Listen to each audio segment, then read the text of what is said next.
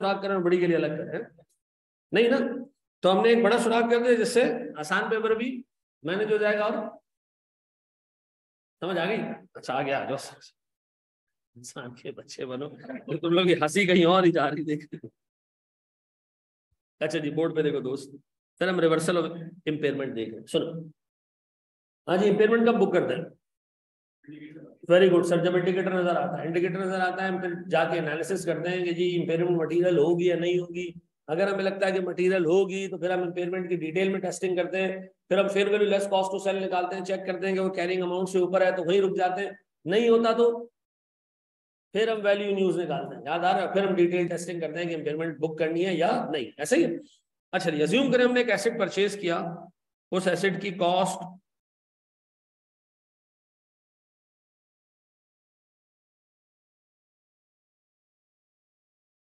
से उस एसेट की कॉस्ट थी एक हज़ार रुपए। ठीक है जी इस एसेट की लाइफ थी पाँच साल। सेकेंड ईयर के एंड पे सर हमने इसकी इंपेयरमेंट टेस्टिंग की तो हमें पता चला कि इसका रिकवरेबल अमाउंट सेकेंड ईयर के एंड में हाँ, इसका रिकवरेबल अमाउंट हो गया जी पाँच सौ दस रुपए। कितना? पाँच सौ दस रुपए। रिकवरेबल अमाउंट कितना हो गया पाँच सौ दस। सर फिर हमने इसकी दोबारा इंपेयरमेंट टेस्टिंग की थर्ड ईयर पे जाके थर्ड ईयर के एंड और पता चला जी कि इसका रिकवरेबल अमाउंट हो गया जी साढ़े चार सौ। कितने? साढ़े चार सौ।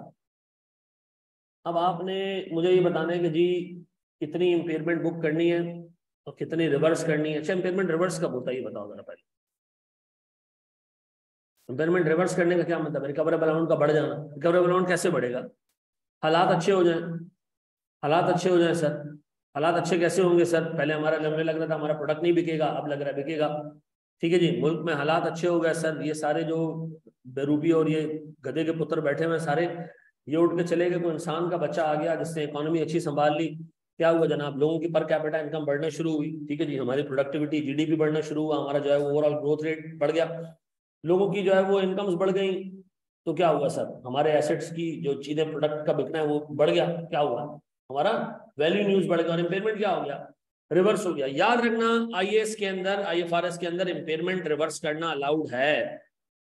ठीक है जी?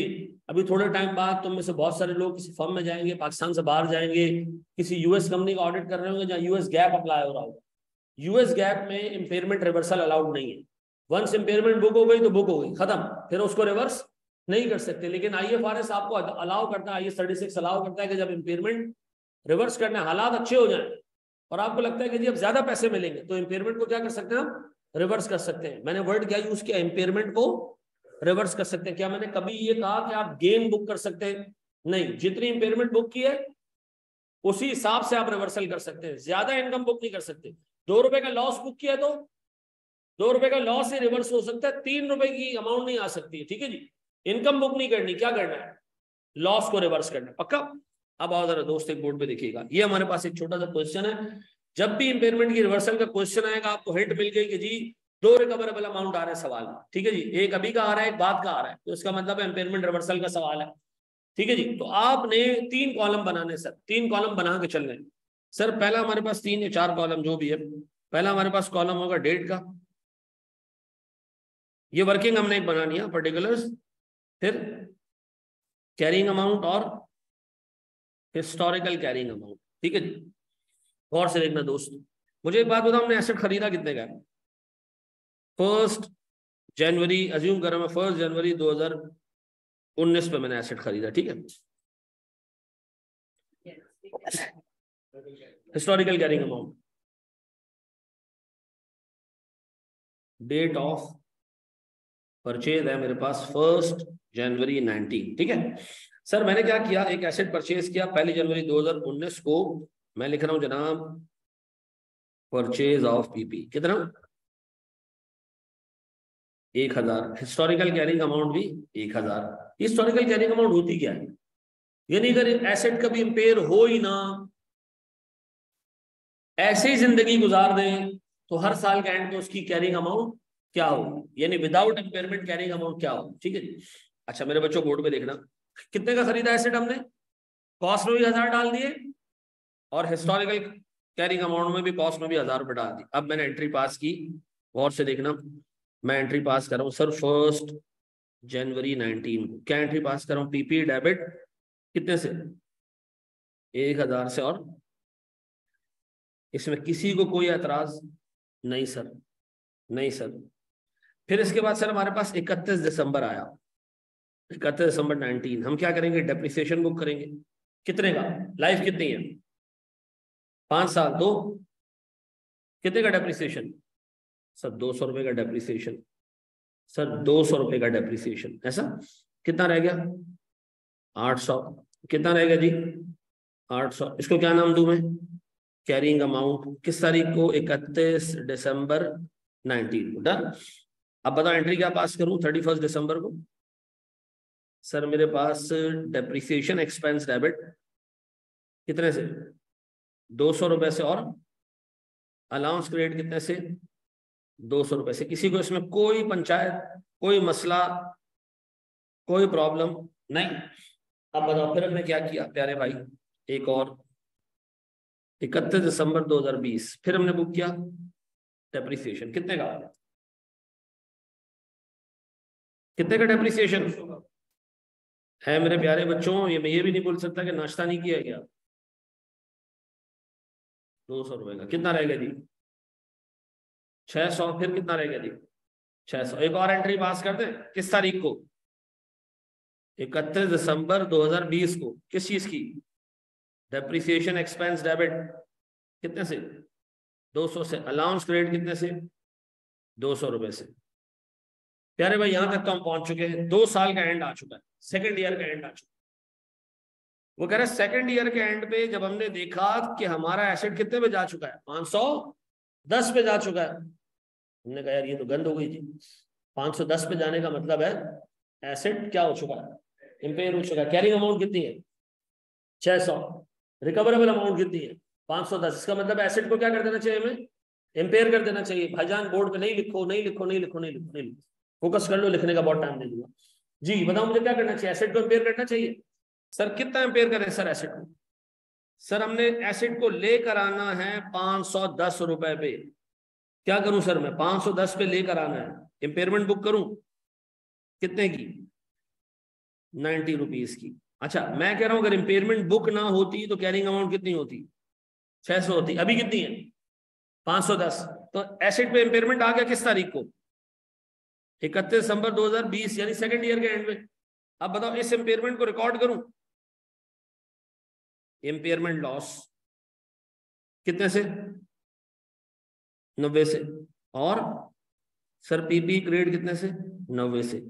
मेरे प्यारे बच्चों, ये चीज़ दिमाग में रखना कि जब आप इंपेयरमेंट बुक करोगे, उससे पहले, उस दिन तक की सारी डेप्रिसिएशन तुमने बुक कर दी हो। बताओ इंपेयरमेंट किस डेट पे निकल रही है? इकतीस दिसंबर 2020 उससे पहले देखो, वहाँ तक की मैंने डेप्रिसिएशन बुक कर ली है। तो इसका मतलब है, आप किसी भी एसेट को इम्पेयर करने जाओगे, पहले डेप्रिशिएट कर दो उसको उस डेट तक। देन उसको इंपेयर करो। समझ आ रहा है?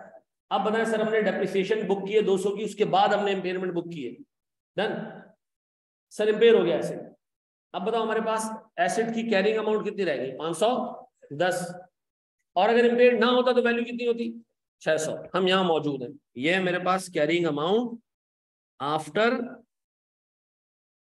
इंपेयरमेंट किस तारीख को? Same thirty first December two thousand twenty गुजर गए ये साल कुछ हिस्टोरिकल कैरिंग अमाउंट का मतलब होता है कि अगर कोई इंपेयरमेंट बुक ना होती तो एसेट की कैरिंग अमाउंट क्या होती? ये साथ साथ लेके चल रहे हैं, उसका एक रीजन है, ठीक है? अब बताओ मेरे बच्चों, अगर मैं आपसे कहूँ कि क्या एसिड को दोबारा डेप्रिशिएट करना है? अगला साल आ गया। इकतीस दिसंबर इक्कीस आ गया। डेप्रिशिएट करूँ? कितने साल लाइफ बाकी है? तीन साल। तो बताओ मैं 510 को तीन से डिवाइड करूँ? हैं? कितना आता है? देखो 510 को तीन से डिवाइड करने में वन वन सेवेंटी पक्का? 170 और अगर ये इम्पेयर ना हुआ होता तो डेप्रिसिएशन कितनी होती? 200 की होती। लेकिन इम्पेयरमेंट करने की वजह से, चूँकि एसेट का कैरिंग अमाउंट नीचे आ चुका है, हमारा डेप्रिसिएशन एक्सपेंस कितना रह गया? एक सौ सत्तर। मैं अगर अब डेप्रिसिएशन बुक करूँ किस तारीख को? इकतीस दिसंबर 2021 को तो मेरा डेप्रिसिएशन कितना है जी? एक सौ सत्तर। और मेरा एक बड़ा बेसिक सा क्वेश्चन है आपसे। मेरा बहुत बेसिक सा क्वेश्चन है आपसे। मुझे बताओ, आपको नहीं लगता कि इम्पेयरमेंट की वजह से हमें एक फ़ायदा भी हुआ? क्या फ़ायदा हुआ? हमारा सालाना डेप्रिसिएशन कम हो गया। ऐसा है? नहीं हमारा एनुअल डेप्रिसिएशन कम हो गया। फ़ायदा हो गया। एनुअल डेप्रिसिएशन कितना कम हुआ तुम्हारा? 200 की जगह कितना हो गई सर 170 हो गया। तीस रुपए मेरा एनुअल डेप्रिसिएशन कम हो गया। रीजन सर इम्पेयरमेंट का मतलब है जल्दी लॉस बुक कर ले रहा ठीक है जी? बुक कर लिया एसिड की कैरिंग अमाउंट छोटी रह गई। अब आइंदा आने वाले सालों में डेप्रिसिएशन क्या होगा? कम बुक होगा। तो इम्पेयरमेंट का लॉस तो हुआ था लास्ट ईयर नब्बे का। लेकिन इस साल हमें तीस रुपए का फ़ायदा भी हो गया। कैसे? सर डेप्रिसिएशन हमारा रिड्यूस हो गया। तो इम्पेयरमेंट जिस साल बुक होगा, उसके आने वाले सारे सालों में डेप्रिसिएशन एक्सपेंस क्या हो जाया करेगा? कम हो जाया करेगा। ऐसा? अब बताओ मेरे बच्चों, मेरे पास डिफरेंस कितने का रह गया? ये कितना आ रहा है? थ्री और ये कितना? ये है चार सौ। और तो सुनो। बताओ कितने का इम्पेयरमेंट बुक किया था? नब्बे का। और कितने रुपए का डेप्रिसिएशन कम बुक किया इस साल? तीस का। तो एक तरफ़ नब्बे का लॉस हुआ और दूसरी तरफ़ तीस रुपए का फ़ायदा हो गया। तो अगर मुझसे कोई पूछेगा नेट नेट लॉस कितना है सर इम्पेयरमेंट की वजह से नेट नुकसान कितना है? साठ, और ये आपको इन दोनों के डिफरेंस से भी पता चल रहा होगा। इन दोनों के डिफरेंस से भी पता चल रहा होगा कि सर हमारा एसेट का कैरिंग अमाउंट 400 होता, अगर हम कोई इम्पेयरमेंट बुक नहीं करते और डेप्रिसिएशन भी नॉर्मल रखते। लेकिन अब चूँकि इम्पेयरमेंट और डेप्रिसिएशन रिड्यूस होने की वजह से मेरा कैरिंग अमाउंट कितना आ रहा है? तीन सौ चालीस, ऐसा? आप बताएँ सर हालात अच्छे हो गए इस साल के एंड में। हालात अच्छे हुए, हमें पता चला हमारा रिकवरेबल अमाउंट कितना हो गया? साढ़े चार सौ। अब हमने एसिड को ऊपर लेके जाना हम इस वक्त कहाँ खड़े हैं? तीन सौ चालीस में जाना कहाँ है? लेकिन दरमियान में एक लक्ष्मण रेखा है।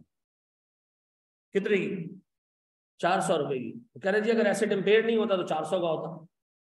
हमने कहा, हम यहाँ से ऊपर जाते हैं, नए रिकवरेबल अमाउंट यहाँ हमें रोक दिया गया। क्यों? उसने कहा, आपसे कहा गया था कि इम्पेयरमेंट का लॉस रिवर्स करना है इनकम बुक नहीं करनी। आपने इम्पेयरमेंट का लॉस कितना बुक किया मैंने कहा नब्बे। उसने कहा डेप्रिसिएशन का फ़ायदा कितना लिया? मैंने कहा तीस।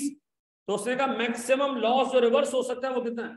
वो साठ हो सकता है। इससे ज़्यादा लॉस रिवर्स नहीं होगा। आप ये नहीं करेंगे कि आप ऊपर चले जाएँ। भले रिकवरेबल अमाउंट साढ़े चार सौ है, लेकिन आप कभी भी हिस्टोरिकल कैरिंग अमाउंट से ऊपर नहीं जाएँगे। ये हमारी महराज होगी। यानी हम ये कहेंगे, अगर इम्पेयरमेंट बुक ना होती तो एसेट कितने पे होता?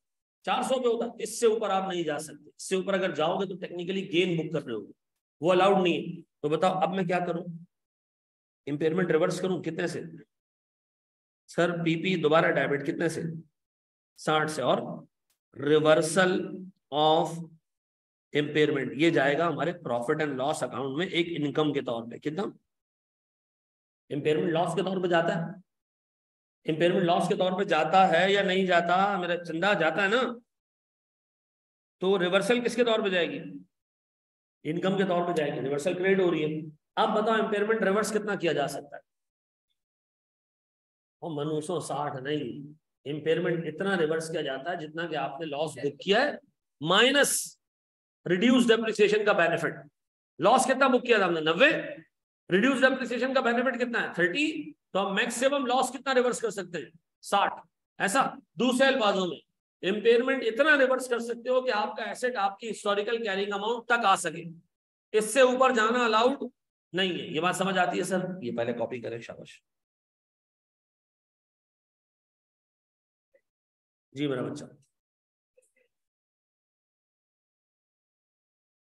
फिर चालीस से रिकवर कर। अप टू चार सौ जा सकते हैं।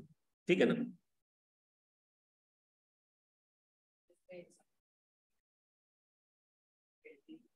ये बनाई ना एंट्री हमने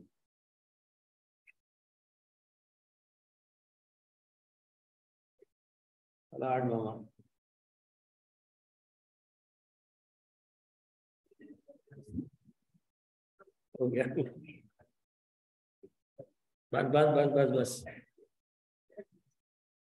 बगैर वक्त पे तालियाँ कोई और मारता है.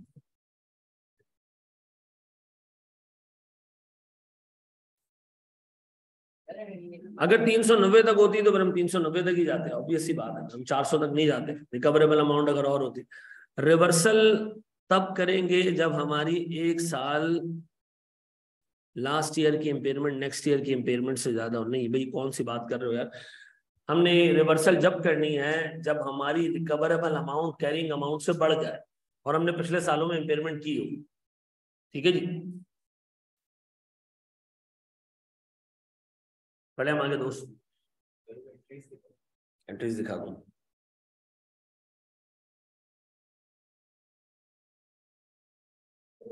गुड है यार।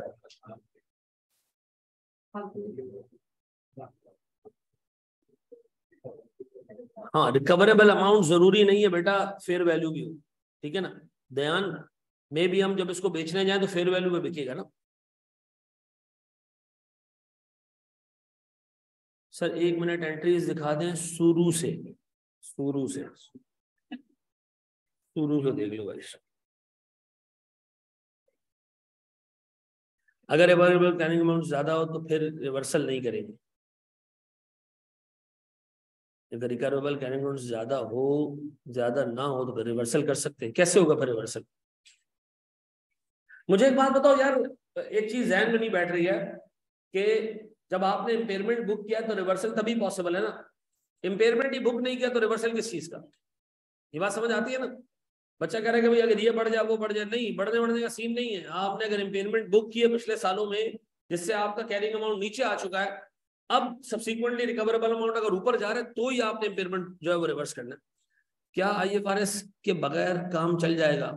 एफ़ वन में लेने की कोई ज़रूरत नहीं है। अब्बा के पास ज़्यादा है तो ले।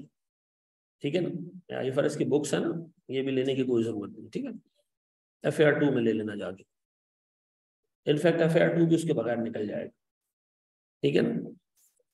एक एक बंदे का सपोर्टर ढूँढने के लिए बेताब हूँ। उस बंदे का मुझे कोई सपोर्टर मिल जाए तो मैं मैं मान जाऊँ, वाकई यार, मैंने दुनिया में एक ऐसा इंसान देख ली और वो है फजल रहमान साहब। उसका मुझे एक सपोर्टर चाहिए, जो वाकई कहता हूँ यार, मैं इसको सपोर्ट करता हूँ। मैं वो इंसान देखना चाह रहा हूँ।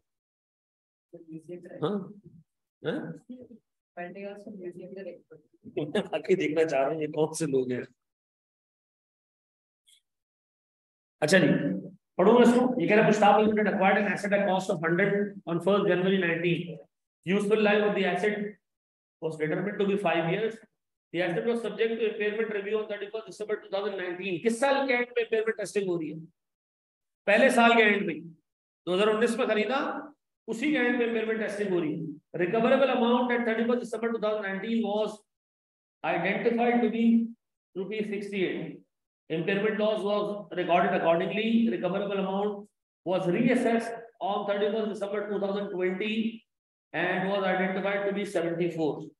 अब इसका मतलब ये कि पहले साल इम्पेयरमेंट बुक हो रही है और दूसरे साल ही जाके मुझे जर्नल एंट्रीज पास करके टेबल बना के दे शाबाश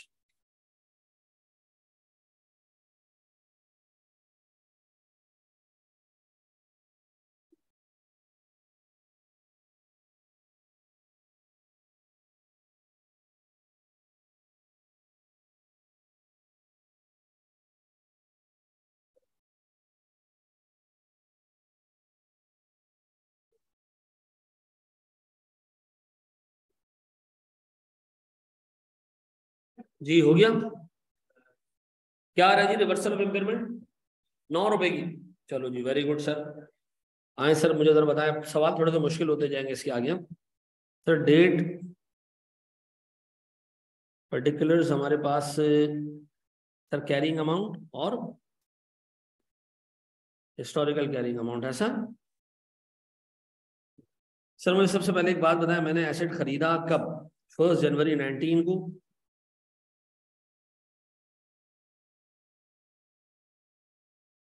एक्विजिशन कितने की? सौ रुपए की। पक्का? सर, मेरे पास इकतीस दिसंबर 19 डेप्रिसिएशन पहले साल की। कितनी? बीस रुपए। कितना रहेगा सर मेरे पास? अस्सी और अस्सी। फिर?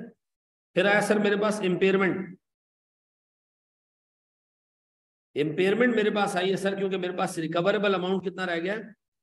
सिक्सटी एट तो सर सिक्सटी एट तक पहुँचने के लिए हमें बारह रुपए का इंपेयरमेंट लॉस बुक करना पड़ेगा। पक्का? इसमें किसी को कोई एतराज़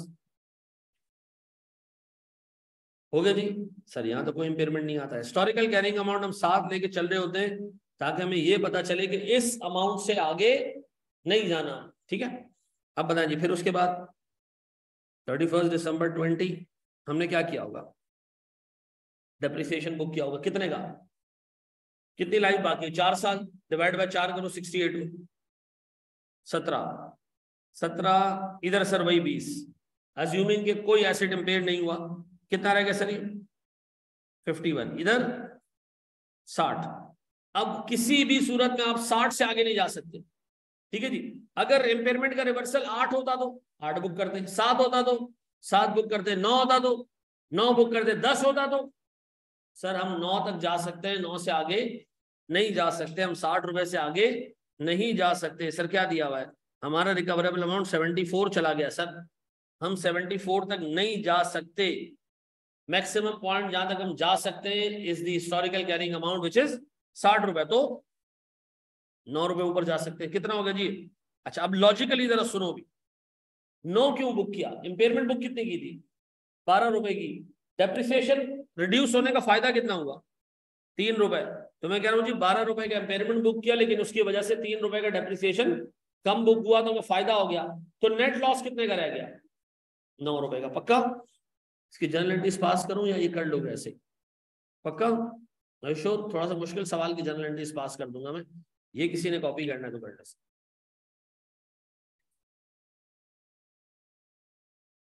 थोड़ा सा आराम से लेके चलता हूँ तुम लोगों ना ना, मैं आराम आराम से एक एक स्टेप पे लेके चलता हूँ, सही? आराम आराम से नन्हे, मुन्ने बच्चों की तरह। बताओ बेटा, हमने एसेट खरीदा, इसमें किसी को प्रॉब्लम है? नहीं है। एसेट खरीदा किस तारीख को? पहली जनवरी 2019 को। पक्का सात हो सब यहाँ पे? फिर फिर उसने कहा जी एसेट की लाइफ है पाँच साल। ठीक है? उसने कहा the asset was subject to impairment review on thirty first December 2019 खरीदा है फ़र्स्ट जनवरी को। 2019 की। इंपेयरमेंट का रिव्यू कब हो रहा है? पहले साल के एंड पे। तो पहले काम करो, पहले साल के एंड पे आ जाओ। कैसे आओगे? इकतीस दिसंबर 19 तक का डेप्रिसिएशन बुक कर लो। कितना? पाँच साल की लाइफ है तो बीस। कम कर दिया। पक्का? यहाँ पे भी बीस का डेप्रिसिएशन पक्का जी? कितना रहेगा जी? अस्सी रुपए। कितना रहेगा जी? अस्सी रुपए। यह है मेरे पास कैरिंग अमाउंट बिफोर इम्पेयरमेंट और ये डेट क्या है हमारे पास? इकतीस दिसंबर 2019 पक्का जी? यहाँ तक साथ हो? उसने कहा जी, पहले साल के एंड पे ही डेप्रिसिएशन बुक करने के बाद जब हमारी वैल्यू अस्सी रह गई थी, पता चला कि हमारी recoverable amount sixty eight rupees है। तो हमें क्या बुक करना पड़ गया? इम्पेयरमेंट इम्पेयरमेंट कब बुक करते हैं? जब रिकवरेबल अमाउंट कैरिंग अमाउंट से नीचे आ जाए, कम हो जाए तो हमें लगा कि अब हमें अपने एसेट को क्या करना चाहिए? इम्पेयर करना चाहिए। कितना इम्पेयर करना चाहिए? हमें इतना इम्पेयर करना चाहिए कि ये सिक्सटी एट पे आ जाए। कितना एम्पेयर करें जी? बारह रुपए एम्पेयर कर दे सर डन हो गया? ये हो गया जी इम्पेयर अब बताओ, अगर इम्पेयर ना होता तो वैल्यू कितनी होती? अस्सी होती। इम्पेयरमेंट के बाद वैल्यू कितनी है? अब भी बताओ हम पहले साल के एंड पे ही खड़े इम्पेयरमेंट बुक करने के बाद भी we are still at thirty first December two thousand nineteen हम आगे नहीं गए अभी तक। हम भी सिर्फ़ पहले साल के एंड पे ही मौजूद है। यानी एसेट ने पहले साल में बीस रुपए के डेप्रिसिएशन के नाम पे वैल्यू लूज की और फिर बारह रुपए इंपेयरमेंट के नाम पे वैल्यू लूज की। तो बताएँ सर, मेरे पास अब कैरिंग अमाउंट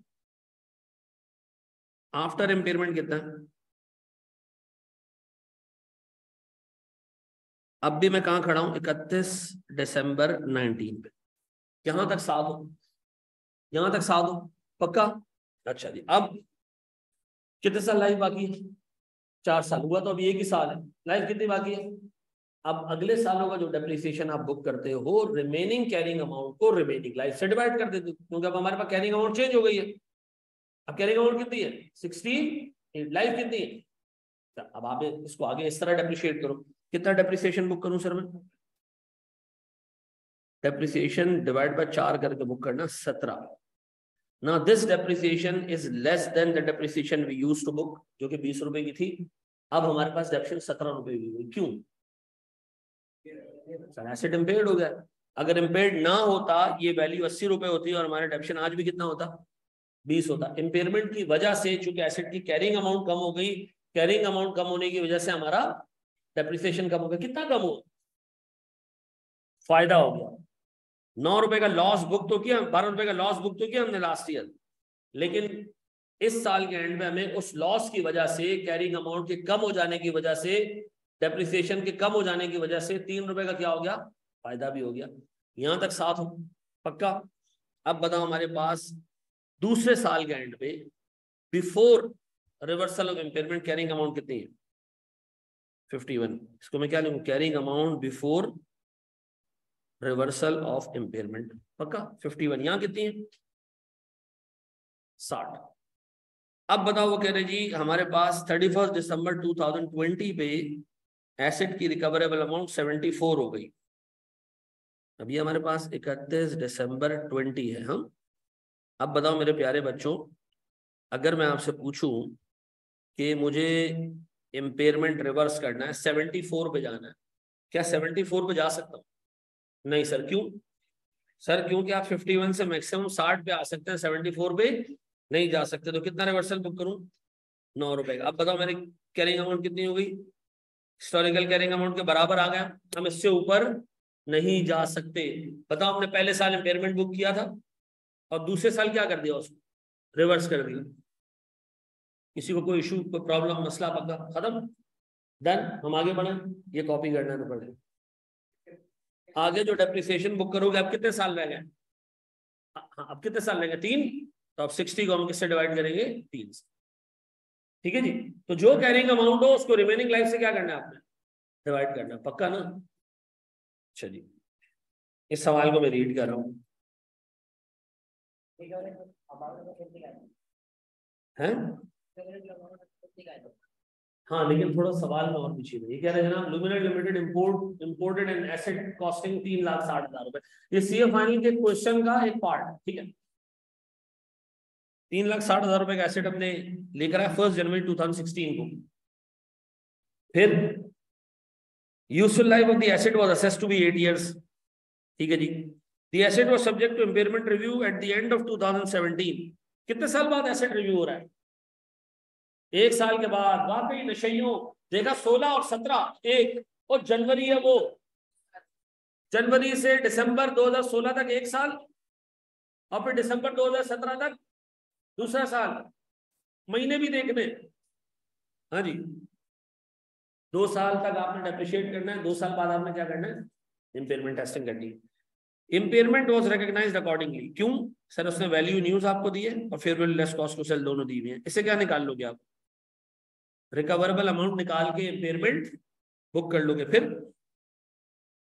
फिर वो कह रहे जी financial prospects of the company and expected cash flows from the asset increased in 2019 ठीक है जी therefore the company reassess the situation for an impairment reversal following are the estimates estimated recoverable amounts at the end of 2017 and 19 हाँ जी, पहली impairment book हो रही है 17 पर। Reversal कब हो रहा है? 19 में, कितने साल बाद? तो तीन तो नहीं सोच रहा ना। चर्सियों दिसंबर 17 से दिसंबर 18 तक एक साल और फिर दिसंबर 19 तक दूसरा साल। ये कर लोगे मैनेज कितने साल का काम करना है इसमें? पहले साल एसेट खरीदोगे या ज़ीरो में। दो साल बाद इम्पेयरमेंट बुक करोगे। फिर उसके दो साल बाद इम्पेयरमेंट रिवर्स करोगे। चार साल का काम है। जर्नल एंट्रीज पास करनी है। ये तुम्हारा होमवर्क है। अगली क्लास में मैं आके ये समझाऊँगा पहले ठीक है जी? और उसके बाद हम आगे बढ़ेंगे, ठीक है? अगली क्लास में हम नया स्टैंडर्ड भी शुरू करेंगे, ये खत्म करके, ठीक है ना? इसका एक और सवाल मैंने करवाना हम नया स्टैंडर्ड शुरू करेंगे अगली क्लास में statement of changes in equity ठीक है? आई एस वन जी, मेरा बच्चे। पहले आई के नाम से आते थे, अब आई के नाम से आते फ़र्क कोई नहीं है, ठीक है? आई एस फोर्टी वन तक आने के बाद ना, उन्होंने कहा, जी, हम इसका नाम चेंज कर देते हैं, ये अकाउंटिंग नहीं है, इसमें रिपोर्टिंग की भी रिक्वायरमेंट्स है। तो उन्होंने आई एफ़ आर एस कर दिया। अब पुराने जो आई एस है, उनको तब्दील नहीं कर सकते। क्योंकि हर बंदा आदि हो चुका I S sixteen I A sixteen अब हम उसको चेंज करेंगे तो मसला होगा तो वो वैसे ही रहने दिए, और अब जो नए स्टैंडर्ड आ रहे हैं आई एफ़ आर एस के नाम से आ रहे हैं। और कितने आ चुके हैं? सत्रह आ चुके हैं। ठीक है ना?